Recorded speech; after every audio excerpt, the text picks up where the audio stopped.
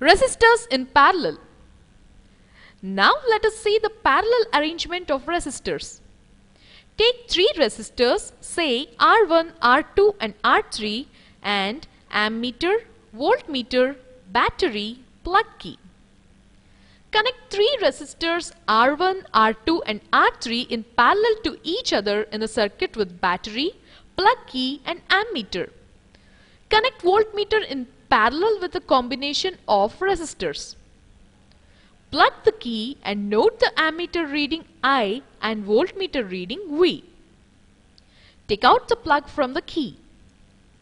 Remove the ammeter and voltmeter from the circuit.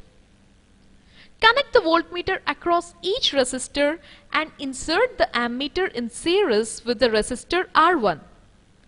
Note the ammeter reading I1.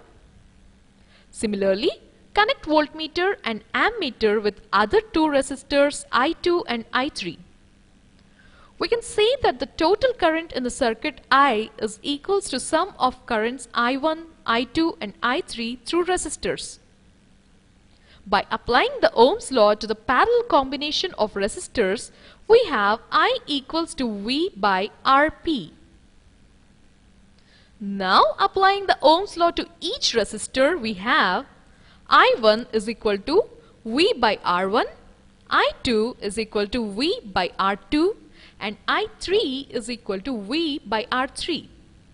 Substituting 1, 2, 3 and 4 in B, we get V by Rp is equal to V by R1 plus V by R2 plus V by R3 or 1 by Rp is equal to 1 by R1 plus 1 by R2 plus 1 by R3.